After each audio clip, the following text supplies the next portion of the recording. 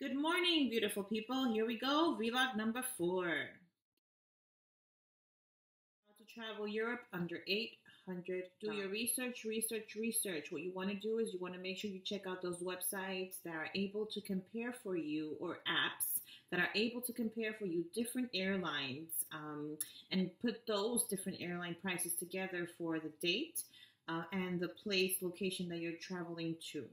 Um, there are several options out there. You're gonna have to end up doing a layover somewhere for uh, some amount of time. So if that's not your thing, it's not something you can handle, it's not something that you're interested in doing, don't bother. However, if you don't mind getting to know a different place while you're having a cup of coffee, um, why not? And John, all that matters is that you're able to go to the place that you want to go to um, affordably so. Um, if uh, affordability is not an issue for you, then this is not for you. You don't have to worry about it. You can go ahead and book your five star hotel and your first um, uh, class flights and just travel the world all over. But um, if budget is an issue for you um, and you would like to get to know different places in a um, quick amount of time rather than kind of um, waiting for time to pass and for the right opportunity or moment to come for you to get to know the places that you would love to visit and see in the world, um, it's a good idea to check out all these different websites. Um, so I just wanted to share that with you because I have been getting a lot of questions on, hey, you know, how much money are you spending on all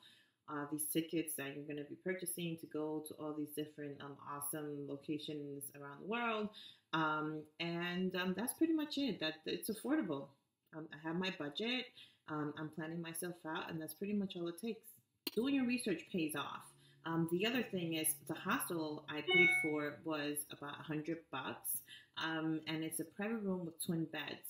So you know you can afford to go on a budget of eight hundred dollars to book yourself to go abroad. Um, I've tried to look into different places as well. I'm planning and hoping to go to Prague um, in end of spring. Um, and that is not far fetched either. I actually saw a ticket for six hundred dollars. Um, so it's all about playing around with the dates. It's all about playing around with different websites that can do that comparison for you. Well, thank you for listening to me. Thank you for checking me out. Um, if you are interested in subscribing, please do so by clicking the subscribe button on the YouTube channel, Anna's Wonderlust in YouTube. Um, don't forget to follow me on Twitter, Instagram, Facebook, and Tumblr, um, which would be pretty cool. Um, I do post um, random photos of different things that I've been up to, different things that I've purchased for the trip, um, and and it's pretty neat. So don't forget to follow. Thank you so much for spending your time with me. Have a great day. Namaste.